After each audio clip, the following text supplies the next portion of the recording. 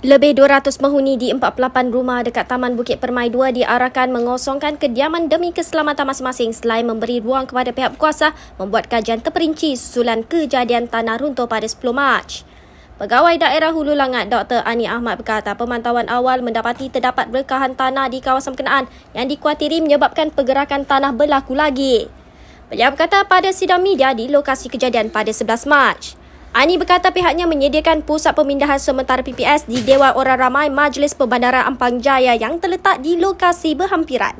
Belum ada mangsa lah yang melakukan diri di situ. Kebanyakan mangsa yang ada telah pun pergi sama ada pergi rumah saudara-mara ataupun menginap di hotel masing-masing lah. Ya. Jadi untuk pengurusan bencana seterusnya, petang ni uh, saya merangkap jawatankuasa, uh, pengurusi jawatankuasa bencana daerah.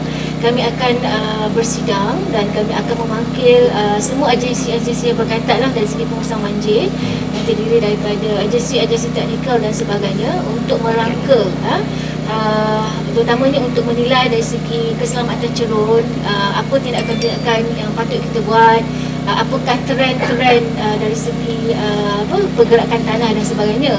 Jadi uh, petang ni kita akan bersidang uh, uh, kita tubuhkan pusat kawalan operasi bencana lah yang kita namakan supaya kita akan merangka uh, strategi-strategi yang lebih teratur bersama semua jabatan-jabatan yang terlibat lah ya dari segi, aspek uh, keselamatan macam PDRM ya logistik seperti Majlis Perbandaran Ampang Jaya uh, dan juga yang lain-lain lah seperti TNB dan sebagainya ya sebab kita uh, supaya uh, penyelarasan dari segi bantuan dan sebagainya akan uh, kita selaraskan dengan lebih baik eh.